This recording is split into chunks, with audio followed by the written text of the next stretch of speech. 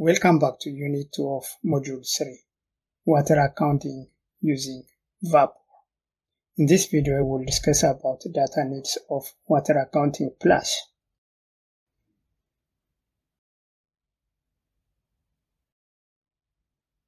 After watching this video, you will be able to describe data needs for Water Accounting Plus, identify some of the remote sensing data sources used for water accounting, and describe other global datasets used in Water Accounting Plus.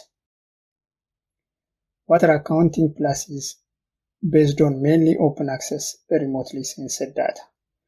We can classify this data broadly as remotely sensed spatial data and time series data of in situ measurements.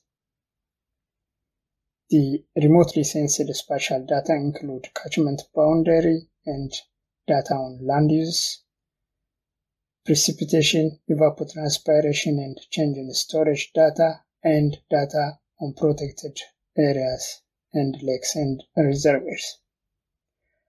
Time series data such as precipitation, evapotranspiration, and runoff, if they are available, can be used to validate the results of the water accounting study.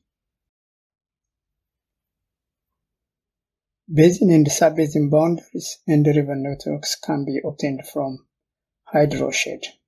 It is a mapping product that provides georeferenced datasets including river networks, watershed boundaries, drainage directions, and flow accumulations, derived using high-resolution elevation data obtained from shuttle radar topography mission.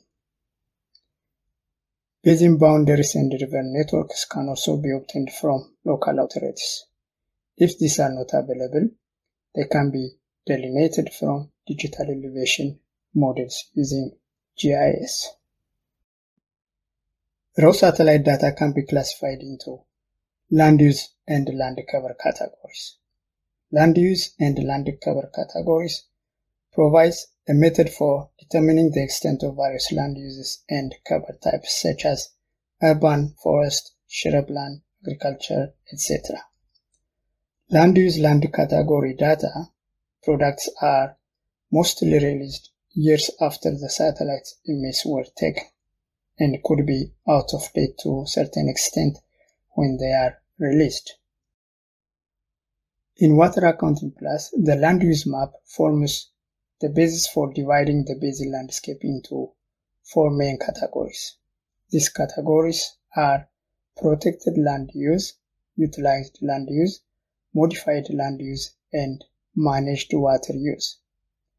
Protected land use include areas that have special nature status and are protected by national governments or international NGOs. Protected land use relates to the environmentally sensitive land use and natural ecosystems that are set aside for environmental protection.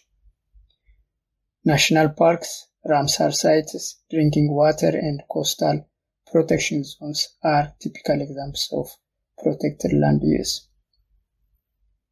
Utilized land use include areas that have a light utilization with a minimum anthropogenic influence. The water flow is essentially natural. This class represents a low to moderate resource utilization of the original vegetation where the human influence is minimal, such as savannas, woodlands, natural pastures, wetlands, mountainous shrubs, riparian corridors, etc.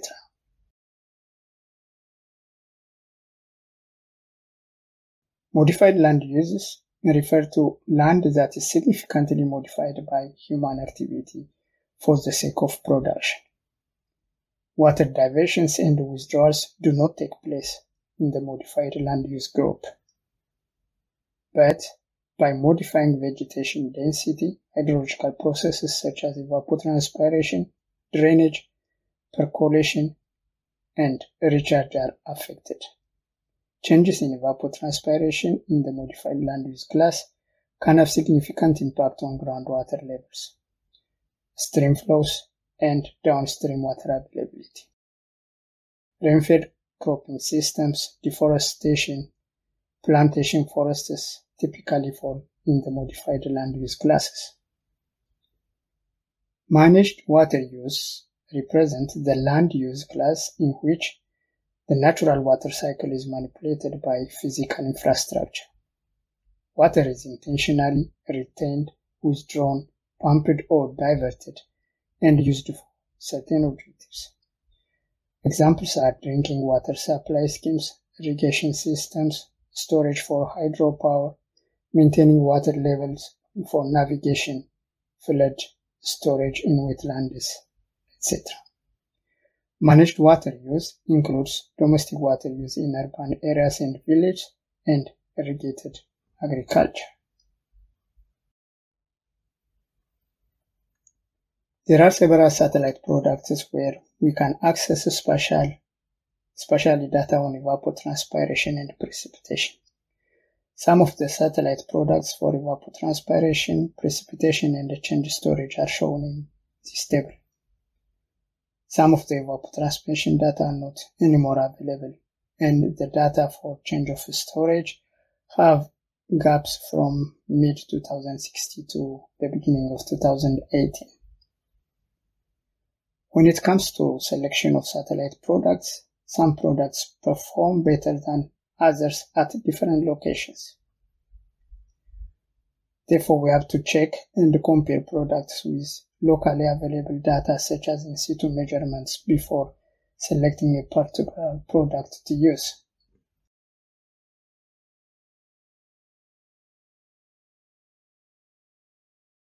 In some of the basins, we may not have information on protected areas. In such cases, the World database on protected areas can be consulted. In Water Accounting Plus, areas designated by International Union for Conserva- Conservation of Nature, IUCN, as categories 1 and 2 are classified as protected land uses.